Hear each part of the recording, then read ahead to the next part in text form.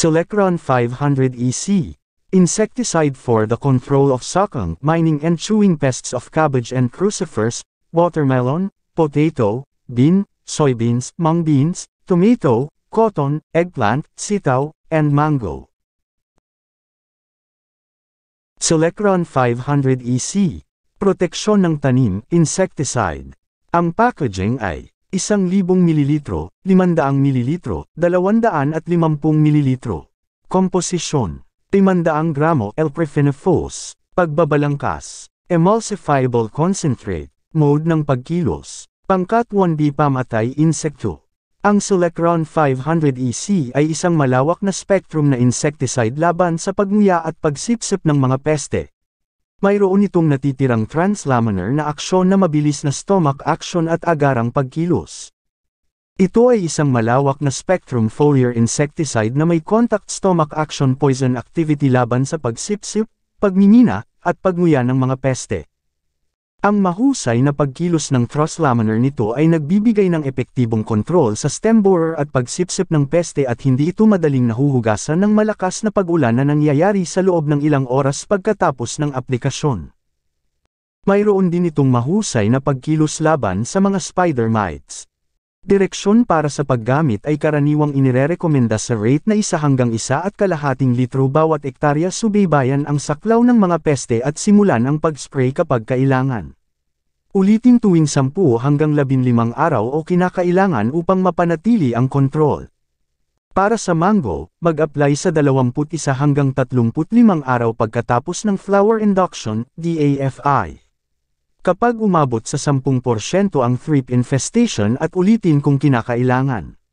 Huwag ilapat sa panahon ng buong yugto ng pamumulaklak. Ito po ay pwede sa cabbage and other crucifers ang mga pests na kaya niyang patayin o controlin ay ang diamondback moth, cabbage worm, loafers, aphids sa rate na 30-50 ml o 3 kutsara hanggang 5 kutsara sa 16 liters na tubig or knapsack sprayer. Kung pwede sa cabbage pwede din ito sa watermelon ang kaya niyang patayin ay ang fruit sa rate na 30-50 ml o 3 kutsara hanggang 5 kutsara sa 16 liters na tubig or knapsack sprayer. Pwede din siya sa potato white ang kayang patayin ni Selecron ay ang mga sumusunod thrips, armyworms, cutworms, tuber moth. Beans pwede din siya bean flies at aphids. Soybeans mung beans naman ay corn earworms, leaf miner sa rate na 30 to 50 ml sa 16 liters na tubig or knapsack sprayer. Sa cotton pwede din siya sa rate na 30 to 50 ml sa 16 liters na tubig or knapsack sprayer.